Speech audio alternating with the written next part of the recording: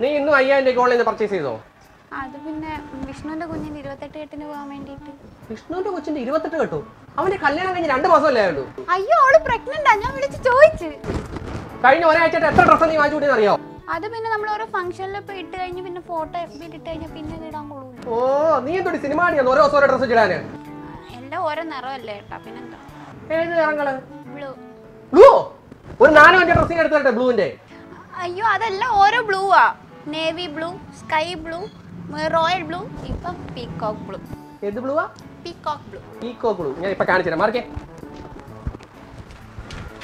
ഇതായിരിക്കുന്നു എന്റെ royal blue sky blue naval blue naval blue അല്ല navy blue എന്ത് blue എങ്കിലും ആയിക്കോട്ടെ. ഇപ്പൊ ഒരു പീകോക്ക് ബ്ലൂ വാങ്ങിച്ചില്ലോ അത് ഇതിനകത്ത് വെച്ചിട്ടുണ്ട്. ഇതൊക്കെ എന്തിനാ ഇതിന്റെ അകത്ത് വെച്ചേക്കുന്നത് നിന്റെ വീട്ടിൽ നീ ഇപ്പൊ പോയിക്കണം നിനക്ക് രൂപയുടെ മൂല്യം അറിയത്തില്ല. അത് അറിഞ്ഞിട്ട് ഇങ്ങോട്ട് വന്നാ മതി. അയ്യോ ഇത്രയൊക്കെ പറഞ്ഞിട്ട് ഫോണിൽ കളിച്ചോണ്ടിരിക്കുന്നു. എന്തുവാ? ഏട്ടാ ഞാനിപ്പോ ഒരു പീകോക്ക് ബ്ലൂ കളർ ഉടുപ്പ് മേടിച്ചില്ലേ? അതിനകത്ത് വെച്ചിട്ടുണ്ട്. അതല്ലെന്ന്? അതിന് എനിക്ക് one lakh rupees cash prize കിട്ടി. എത്ര? വൺ ലാക്ക്. നമുക്ക് അവിടെ ഒരു പുതിയ കട തുടങ്ങിയിട്ടില്ലയോ? അവിടെ പോയി ഒരു ഓഷ്യൻ ബ്ലൂ വാങ്ങി. വേണ്ട.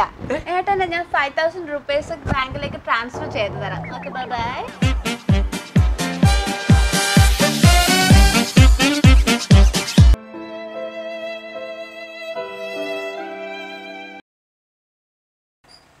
എടി ജൂലി. ഞാൻ ജൂലിയല്ല ആനിയാ. ആ ആ, ആനി ആനി. എടി നമ്മൾ കേരളത്തിൽ അറിയപ്പെടുന്ന രണ്ട് മോട്ടിവേഷൻ സ്പീക്കേഴ്സിന്റെ വീട്ടിലാണ് വന്നിരിക്കുന്നത് ഇന്ന് നിന്റെ പേടി എല്ലാം ഞാൻ മാറ്റി തരും. ഇറങ്ങും കേട്ടോ ഇറങ്ങ്. കല്യാണം കഴിഞ്ഞിട്ട് എങ്ങനെയുണ്ട് ഒന്നും പറയണ്ട കേട്ടോ. ഞാൻ ആകെ ധർമ്മസങ്കടത്തില്ല എന്താ പറ്റി? ചേട്ടൻ അറിയാലോ എനിക്ക് ജൂലി എത്രമാത്രം ഇഷ്ടമാണെന്നുള്ള കാര്യം. ആ നിന്റെ പോകാൻ പറയാ അതെ ആനിക്ക് ഇഷ്ടമല്ല. അവൾക്ക് അതുകൊണ്ട് ഞാൻ അപ്പുറത്തെ വീട്ടിലാണ് ഇപ്പം കൊണ്ടാക്കിയിരിക്കുന്നത് ചേട്ടൻ ഒന്ന് പറഞ്ഞ് മനസ്സിലാക്കുക അല്ലെങ്കിൽ നിങ്ങൾ രണ്ടുപേരോട് ഒന്ന് പറഞ്ഞ് മനസ്സിലാക്ക്.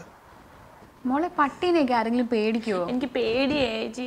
പണ്ട് എന്നെ പട്ടി കടിച്ചിട്ടുള്ളതാ. പതിനാല് ഇഞ്ചക്ഷൻ എടുത്തിട്ടുണ്ട് എന്റെ പുക്കിളിന് ചുറ്റും അയ്യോ ഇപ്പൊ പണ്ടത്തെ പോലെ അല്ല ഇപ്പൊ ഒരെണ്ണം എടുത്താൽ മതി. ഒന്ന് പോയി ചേച്ചി. എനിക്ക് ഇഞ്ചക്ഷൻ അല്ല പേടി. പട്ടീനെയാ. മോളെ ഈ ലോകത്ത് ഏറ്റവും കൂടുതൽ നന്ദിയുള്ള ജീവിയാണ് പട്ടി.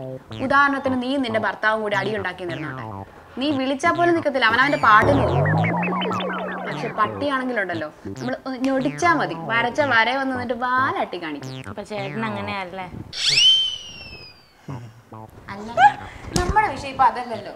അതല്ലേ ചേച്ചി ആ പട്ടി? എപ്പൊ കണ്ടാലും എന്നെ നോക്കി ഭയങ്കര കൊരയാ. കുരയ്ക്കുന്ന പട്ടി കടിക്കത്തില്ലെന്നാ. ഈ കേസ് ഒരു പട്ടി നമ്മളെ കടിക്കാൻ വരാന്നിരുന്നോട്ടെ അതിന്റെ കണ്ണിലേക്ക് നമ്മൾ തീക്ഷ്ണമായിട്ട് ഇങ്ങനെ നോക്കി. ചേട്ടാ കൊല്ല്.